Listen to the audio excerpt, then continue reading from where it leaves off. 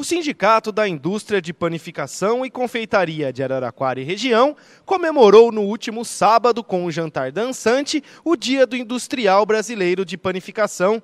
O evento aconteceu no Salão de Festas do Orfanato Renascer. Esse encontro ele visa a gente unir a categoria e mostrando a força que a gente tem na cidade de alavancar é, não só o comércio, mas sim a produtividade, emprego e ajudar a cidade também no seu crescimento. Maria do Carmo, presidente do sindicato, acredita que todo o trabalho bem feito que está sendo realizado é fruto da união da categoria. É, é uma festa assim, que exige um certo trabalho, né? nos dá um certo trabalho, porque o nosso tempo é bastante limitado. Uh, mas eu confesso para você que hoje ela está até mais fácil para se realizar do que no passado, porque hoje os nossos próprios patrocinadores, ele já se envolve tanto que ele nos ajuda a realizar a festa sem maiores problemas. Mas é um dia muito especial para todos os panificadores, porque nós estamos.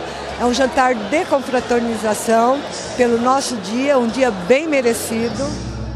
Deixa vir do coração. Você sabe que eu só penso em você. Você diz que vive pensando em mim. Pode ser, se é assim, você tem que largar a mão do não. Soltar essa louca arder de paixão.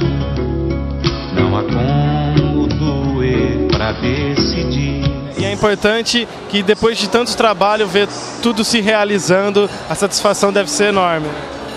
Muito, muito grande. Hoje não dá nem para sentir muito, porque ainda estou muito emocionada, né? Aí quando é amanhã eu vou estar mais calma, vou lembrar isso, vai me dar uma alegria muito grande pela realização.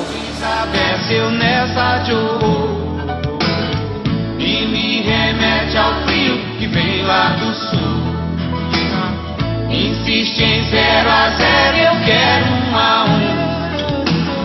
Sei lá o que te dá, não quer meu calo.